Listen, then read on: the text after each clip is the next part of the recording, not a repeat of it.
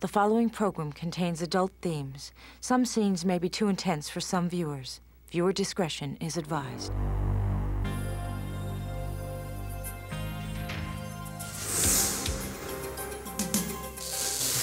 When two people fall in love, can their passion create evil? And can a woman dream of murder so strongly that her boyfriend will kill her?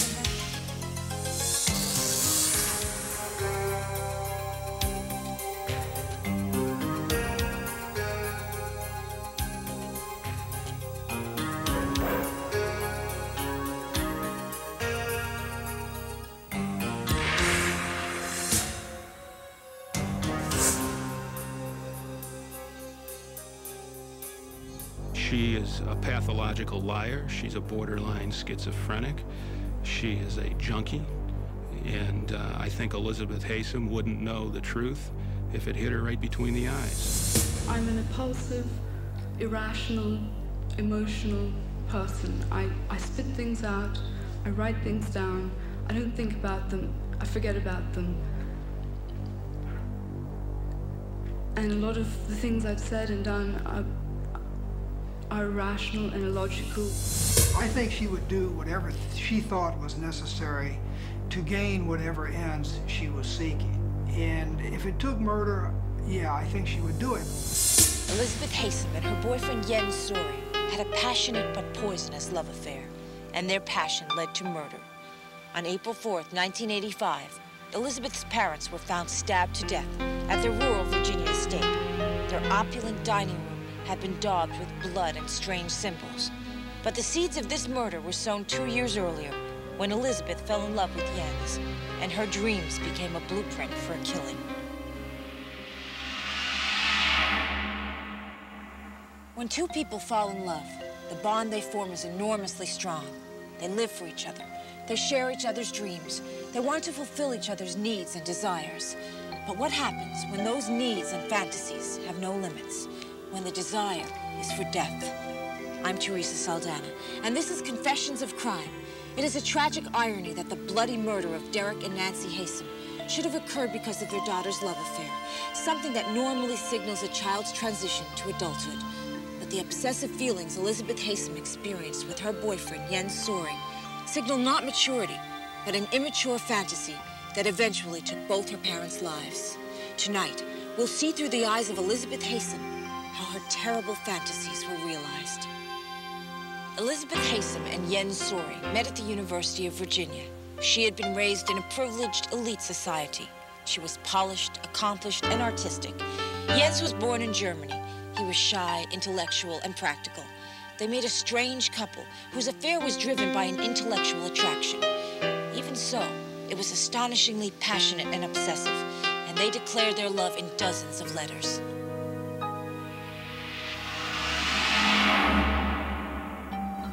My dearest Jens, I love you. I love you now. I love you eternally. The most important person in my life. I do love you more than I've loved anybody, and I love you differently than I've loved anybody before. She was the belle of the ball that year. Everybody wanted to spend time with her. She's very attractive, she's witty, she's unusual, and she could have had her pick, and here she picks this sort of pasty-looking dwarf that nobody liked very much. He was a very, very unlikely choice for her. I think Jens probably just was riding on, on as high a high as he'd ever been uh, when, when he and Elizabeth first started going together because he was this very, very attractive, very brilliant, very seductive woman who was paying attention to him. And this was just more than his psyche could stand almost. I'm not perfect. I was ranked fifth in a mediocre school with mediocre people. I'm so hopeless. I qualify as a village idiot at best. I love you so fiercely. Elizabeth had a troubled childhood. Her parents were rich and successful and set extremely high standards for their daughter. Elizabeth was sent away to exclusive boarding schools in England. As she escaped from the bonds of home, she became eccentric, bohemian, and a drug user. She escaped into a world of fantasy, weaving secret dreams inside her own head. I was raised to believe I could be anything I wanted to be. I would read about a character and say, that's an interesting way to be. I think I'll be that way for a week or two. At the time, I believe I thought that when I needed them when I was younger, they weren't there for me. Probably, as I say, it's a bogey in my own head because maybe if I'd reached out a bit more, they would have been there for me. But I thought that they had not been there for me. I'd been alone for all those years. And then when I had come back, when I was at UVA, they were overwhelming me, smothering me with attention. At the University of Virginia, Jens Soring was studying engineering. The son of a German diplomat, he too had a troubled childhood and domineering parents. Jens was an intelligent young man, but again, you have to recognize that intelligence and maturity are two different uh, concepts. And while Jens may have been able to recite a lot of uh, Shakespeare quotes and uh, tell you uh, what the major export crop of Afghanistan was, um, he wasn't necessarily uh, as advanced uh, emotionally. I felt this. I'm feeling it now. The need to plant one's foot in someone's face. To always crush. The letters show that they did feel as though they had found soulmates. This is an example of a letter that that Elizabeth wrote to Jens over the holiday break. My mother went to her hair appointment three days late. My father and I cut down cedars for Christmas presents. Would it be possible to hypnotize my parents, do voodoo on them, will them to death? It seems my concentration on their death is causing them problems. My father nearly drove over a cliff at lunch. He nearly got squashed by a tree when he got home, and he keeps falling over. And my mother, drunk, fell into the fire. I think I shall seriously take up black magic. So you admit that you placed the idea of your parents' death in the mind of Jens Soring? Yes. But he obviously knew from, as you, as you pointed out, my letters that I had feelings about my parents that I, I didn't want them in my life. Yes. Elizabeth may have made a fatal mistake in encouraging Jens's dark side in revealing to him her own fantasies of her parents being gone, being dead. Uh, he seemed to be taking all of this much more seriously. He, though he didn't appear to be a terribly physical person, he had a very violent nature. These are Jens's words. This is the big horror, the taste you have in your mouth when you wake up in the morning. The taste of death. Of your ubiquitous enemy's blood that you drank in, your sleep and that you drink every night. Civilization, whether in the form of mouthwash or taboos, will try to remove that taste of and awful blood. But when we wake up every morning, it is there, it is real. And then he goes on and he says, um,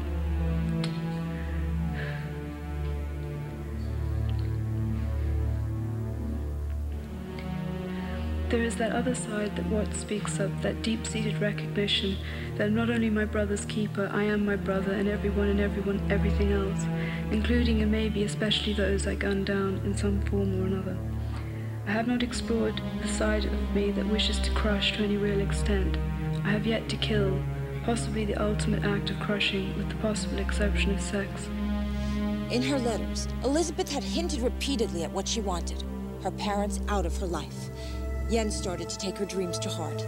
No one truly knows why Elizabeth despised her parents so much, but her hatred for them became her driving force.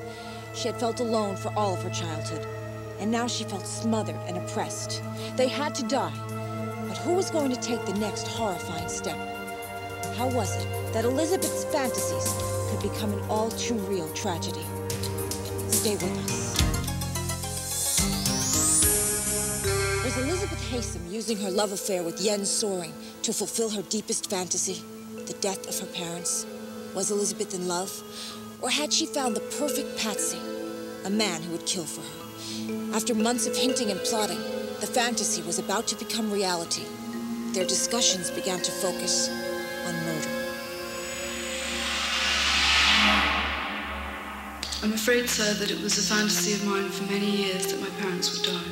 I don't think they started out by talking about plans to kill our parents. They started talking about a different thing. It, it, it just evolved into this, and they said, gosh, wouldn't it be great to plan a perfect murder? because they love to play intellectual game. And, and pretty soon they said, well, if we have a perfect murder, murder, we may as well have a perfect victim. Let's take my parents, which I suspect Elizabeth had in the back of her mind all the time. And, and again, I, I think that she was cultivating Jens along these lines, and she led him into this. Elizabeth by herself is not a murderess. Jens Soring by himself was not a murderer. Together, somehow they conspired, perhaps unconsciously on her part, but somehow the result of these two coming together was murder. I see this as something that that was only premeditated as a fan- fantasy. It ended up becoming a reality, but I don't think it's because of any conscious plotting. In Jens, she found someone to whom she could relate. And then she began manipulation with him involving her parents. Um, they don't approve of you, but I love you so much that I don't care. I don't care if they cut me out of their inheritance. She would talk of her inheritance as though there were millions of dollars there. In fact, there were not. Um, they are furious with me, but I, I love you so much I don't care. It, it gave her kind of um, extra credit as far as, as caring about him, and I, I think that's why she did it, and I think she knew, probably consciously knew what she was doing in, in manipulating him that way. Jens was a very practical man, and together they devised a complex alibi to cover their murderous schemes. Their story was that they had gone to Washington for the weekend, which was uh, about 250 miles, and they'd gone up there to spend the weekend just to get away from the grind of school. And later it, determined, it was determined that they were trying to build an alibi for, for their absence, try to show they were somewhere else when the murders were committed. And the, the investigator who was looking at this looked at the rental car mileage and he said they could not have run up that many miles just driving to Washington and driving back. So the only plausible excuse was they'd driven to Washington, at least one of them came back, or the car came back to Lynchburg, and went back to Washington and then back to Charlottesville. And that totaled almost exactly the number of miles on their odometer. Even though the murder was still Elizabeth's fantasy, it was becoming all too real. She and Jens had plotted it down to the last detail. They booked a hotel room in Washington and devised a clever scam to disguise their killing spree. This was all part of the plan. What I was supposed to do was I was supposed to be in the shower when the room service arrived so that it would look like I was in the shower with Jens. And I would come out of the shower with a towel wrapped around me. And um, I would pick up the room service receipt and I would take it, carry it back into the shower with me, forge his signature, and bring it back out again so that that would show that he was there. Did you want him to kill you? Yes, I did. As Jens drove through the dusk, Derek and Nancy were finishing dinner at home. It would be their last meal together. In the kitchen, Jens stabbed Nancy eight times in the face and chest. Derek was in the dining room. He was stabbed 38 times, and his throat repeatedly slashed. Five days later, their bodies were found. There was no sign of forced entry, and the crime scene was horrifying. There were bizarre signs of a voodoo ceremony. Bloody footprints like a ritualistic dance were visibly etched on the floor, and the number 666 had been carved into the wooden floorboards. All she had to do sometime during that four hours is just pick up a phone and say, Mom and Dad, something's wrong with Jens. He's mad, he's upset, he's coming. Don't let him there. Call the police. I love you. Mom and Dad, I care for you. I don't want you to die. Jens had committed the ultimate crime. At Elizabeth's instigation and inspiration, he had killed. Egged on by her fantasies, the deed was done. Was this murder the proof of their strange love for each other? Would it bring them even closer together? Or was it the beginning of the end of their deadly passion? Stay with us.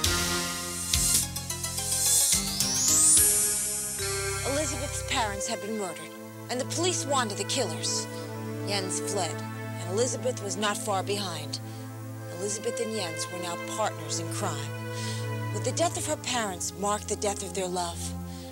After the murder, Elizabeth and Jens fled to Europe, and their lives disintegrated.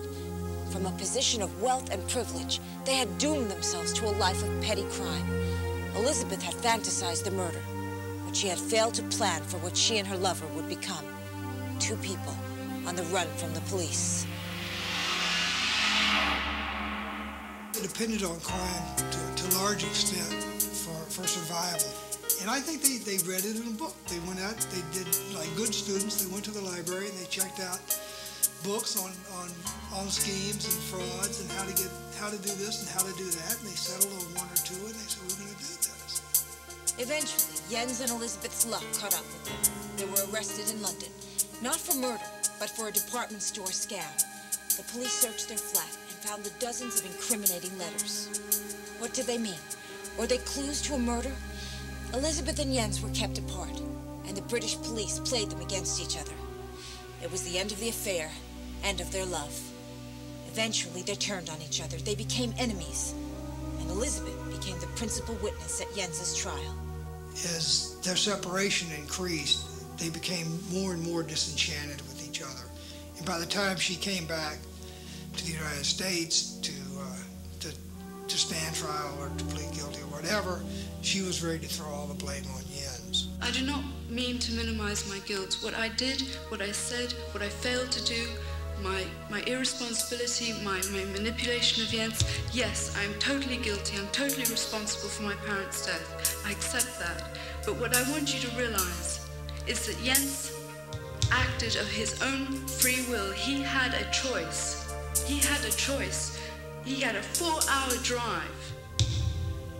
No matter what I said to him before that, no matter what I had written to him in months before that, he had a choice whether he killed my parents or not. He sat and talked with them.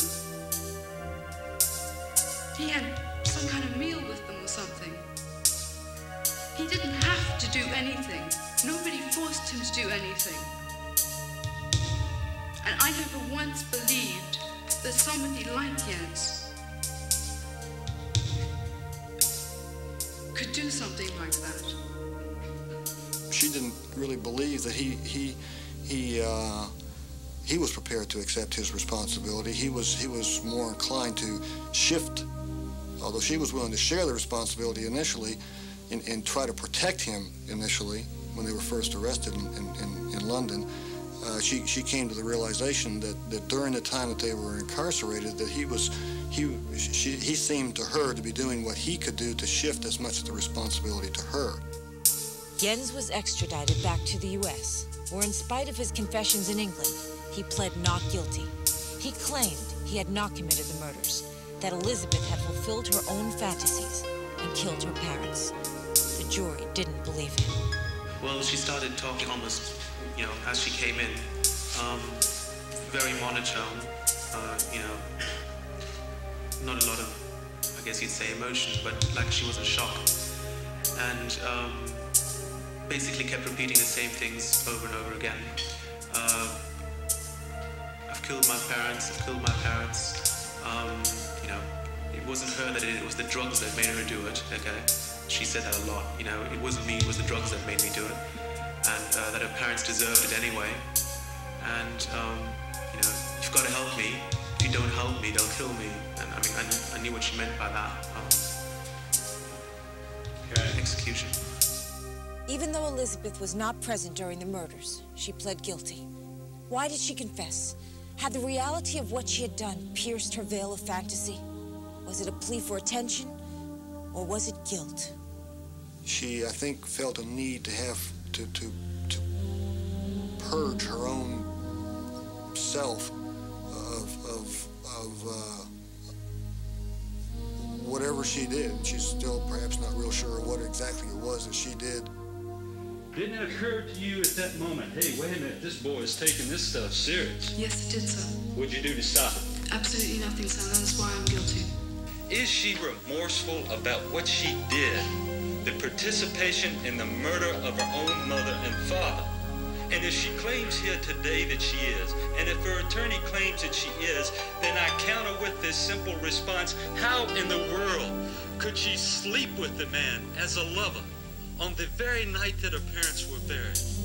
The night that she attended the funeral service, and this man being the very butcher who slashed them in the fashion that we've seen in those photographs. Sleep with him, make love with him. Is that remorse, Sean? Elizabeth Haysom might be the coldest human being I've ever encountered in my 15 years of practicing law. Um, when I looked into her eyes during cross-examination at trial, there was nothing there but icicles. Um, she is a pathological liar. She's a borderline schizophrenic. She is a junkie. Uh, I think Elizabeth Haysom wouldn't know the truth if it hit her right between the eyes. For Elizabeth Haysom, this was a psychological crime in the purest sense. She wasn't there. She didn't stab her father 38 times. Yet her manipulating hand was present every time the knife plunged into his heart. How did this happen? Trust and passion can be strong and positive emotions in a normal, healthy relationship. But in the strange lover's knot of Elizabeth and Jens, trust led to blind acquiescence and evil manipulation. Passion led to murder. Elizabeth, with her life of play acting, had found the perfect foil in Jens. He longed to prove himself to her, and so he fulfilled her fantasies, turning her visions of murder into bloody and brutal acts. And now, having realized their worst desires, their dreams must take flight beyond prison walls, where Elizabeth Haysom is serving 90 years in the Goochland Correctional Facility, convicted of being an accessory before the fact. Her boyfriend, Jens Soring, is serving two life sentences for murder in the Virginia State Prison. I'm Theresa Saldana. Join me again next time for another extraordinary journey into the criminal mind on Confessions of Crime.